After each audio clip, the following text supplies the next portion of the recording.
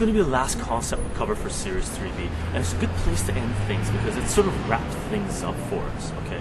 And if you've been following Series 3B, you'll have a pretty good idea of what we're going to talk about because all it is is just introducing a couple of new terms in our vocabulary. One is the remainder theorem, and the other one is the factor theorem. And the factor theorem is just an extension of the remainder theorem. Okay. And uh, the reason that these two things are important is because they allow us, they're one of the tools that we use to be able to find ourselves on a function. Okay. You can think about it this way. The reason that we create functions, that we have models, is because we want to find out how, you know, something in the real world, in the imagined world, uh, in, in the perceived world works, right? So one of the first things we need to do is to figure out where we are on a function. And that is exactly what the remainder theorem tells us, okay? So just imagine if you had a coordinate system. This is our x, and this is our y. And our y is basically our f of x? Let's throw a function on this thing. What the remainder theorem does, it allows us to go on the x-axis, anywhere on the x-axis, and either move up or down and hit the function, and it tells us where we are on that function. So what it does, it tells us, we pick a particular x value, and through through our evaluation of the function, we find out where we are on the function, what our f of x becomes on the function. Okay, so let's go to another wall and just put this, uh, you know, lay that lay lay this thing down and see what it looks like mathematically.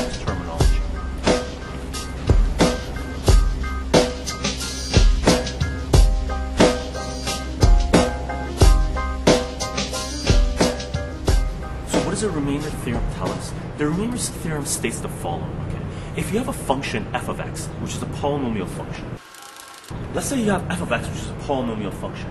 If you take this polynomial function, if you take f of x and divide x minus 1 into it, and x minus a into it, where a is the element of the real number set.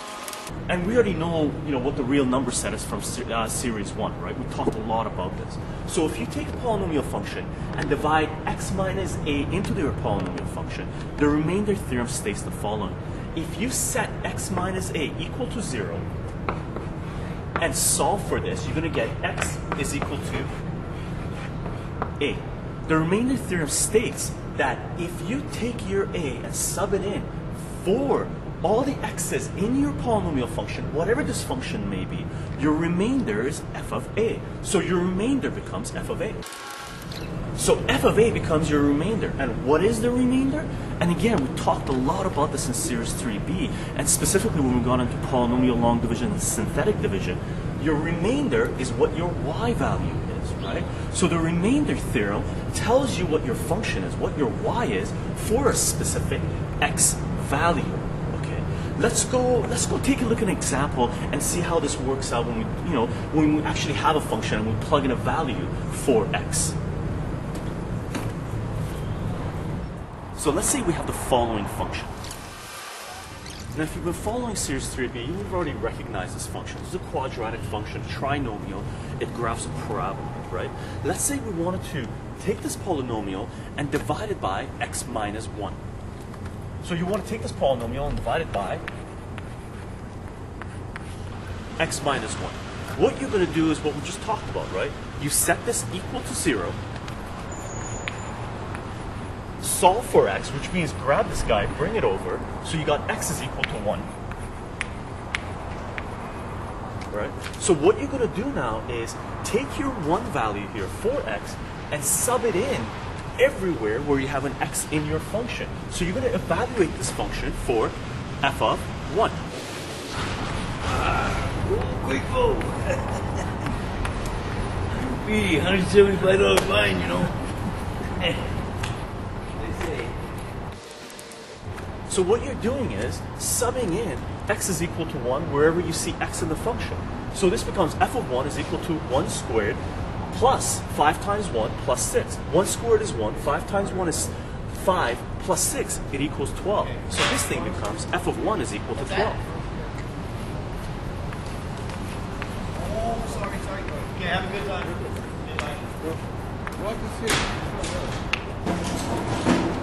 Mathematics.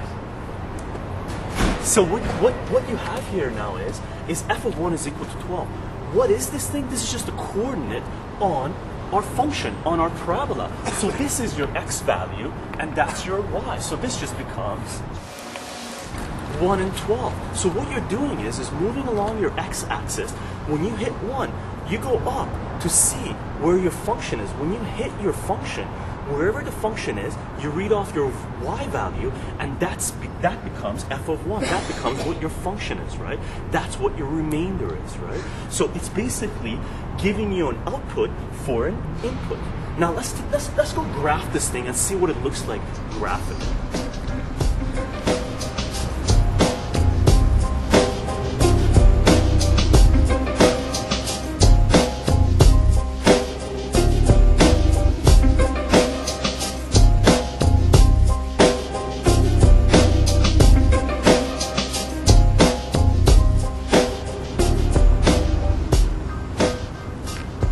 So, so what does all this look like when we graph it, when we take f of x? So what does it look like when we take f of x is equal to x squared plus 5x plus 6 and graph it and solve for a specific x value? Now, we've already graphed things like this in Series 3A, right? And don't worry about how, how this all graphs because we're going to talk about this a lot more in the future. What you want to focus on right now is the remainder theorem or what it's telling us. Now, I know that this graph's a parabola, a quadratic function, and it has x-intercepts of negative 2 and negative 3. So the graph of this looks like the following. We've got our Cartesian coordinate system here, right, we have an x-intercept of negative 3 and an x-intercept of negative 2. And this parabola opens up. So what we have, it looks like this. So this is this is what our function looks like. This guy graphs a parabola that looks like this, right? Now let's say what we want to do is divide this function by x minus 1, or basically evaluate this function at x is equal to 1. So what we do is do exactly what we did in the example, right? We're going to go we're going to evaluate this thing for x is, x is equal to 1, right? And we already did this, and we know the answer for this is 12.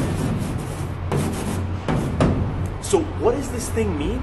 It means that we just plotted a point on our graph, right? We just got a coordinate point, a, a point on our function, right? Which is 1 and 12. If we go to x is equal to 1 and move up until we hit the function, it becomes f of 1. Okay, and that's what we just ended up doing, and that is what the remainder theorem is, right? It gives us an output for a specific input. It tells us what our y is for a specific x value, right? Now, what does the factor theorem tell us? The factor theorem is a special case of the remainder theorem where your remainder is equal to zero. Now, I already know that this function crosses the x-axis at x is equal to negative 2 and x is equal to negative 3, right? So let's say we want to evaluate this function at x is equal to negative 2. So the question would be, evaluate this function at x is equal to negative 2, or divide this fun- function by x plus 2, right? What you're going to do is, to find your remainder, to find out what your y is, what you're going to do is sub in x is equal to negative 2 in your function wherever you have the x's, right? So you're going to evaluate that function at x is equal to negative 2. Right? So what we got here is, when we sub in x is equal to negative 2 for, uh, for x, we got negative 2 squared, which is going to be 4, 5 times negative 2 is negative 10. Plus 6. So what we have here is 4 minus 10 is negative 6 plus 6 is 0. So f of negative 2, that's supposed to be a 2. So f of negative 2 is 0, right? That's where our function crosses the x-axis, right? Because our y value is 0 for x is negative 2. So what we've done here is plotted another point on the function, which is an x-intercept. And what is an x-intercept? X-intercept is just basically gives us the factors of a function, right? It gives us the zeros, it gives us the roots, right? It gives us the x-intercepts. So this point here is right there. It's when x is negative 2 and y is 0, okay? And that is all the remainder theorem and the factor theorem tell us. They're basically tools that we use to find out where we are on a function, right? And they're pretty powerful tools, right? Because all you do, you plug in an x value and find out what your remainder is for the function, and that is your y, okay? And that's basically the remainder theorem and the factor theorem, okay? Hope you guys enjoyed the series. I'll see you guys in the next video.